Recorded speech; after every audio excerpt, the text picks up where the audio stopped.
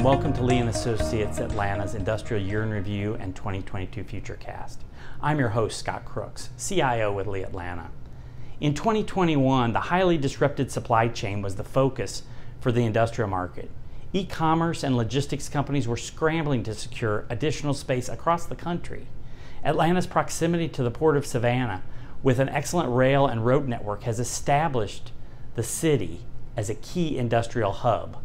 The Port of Savannah has set records each month for the amount of cargo loaded and unloaded and is on track to move more than 1 million more TEUs or 20 foot equivalent units than it did in 2020. Port activity has a strong correlation with the 2021 record setting growth of the Atlanta industrial market. Diving deeper into the market, under construction activity topped 43 million feet which is 19 million feet higher than in 2020. South Atlanta led the way with 30 buildings and over 14 million square feet under construction. At the end of 2021, across Atlanta, there were 11 1 million square foot buildings under construction, eclipsing a previous record. We're also on record pace for absorption of over 40 million square feet, topping the old record of 25 million square feet. Amazon continues to be the dominant market tenant as they build out their warehousing and transportation networks. They have leased over 6 million square feet of space this past year in Atlanta.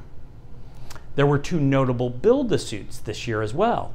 A 1.1 million square foot facility for Kellogg's in South Atlanta and a 1.1 million square foot facility for Ace Hardware in the Northeast. We project that the Atlanta industrial market will continue at a breakneck pace as e-commerce continues to grow at a rapid rate and steel and other component shortages ease.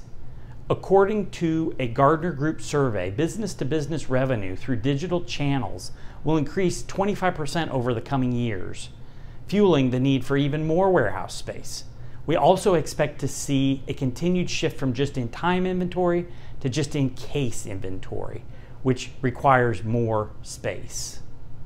Looking deeper into the analytics, Atlanta will see another year of over 30 million square feet of construction. We do expect absorption to slow in the second half of the year as port congestion starts to ease. This will allow vacancy rates to climb back to healthy levels around 6%. We project that rental rates will level off during the second half of the year as well. Additionally, concessions and tenant improvement packages will be tight for the first half of the year. However, as demand slows in the second half of the year, they will become more generous. Thank you for joining our Atlanta Industrial Year in Review and 2022 Futurecast. I am Scott Crooks with Lee and Associates Atlanta. Please make sure to follow us on social media.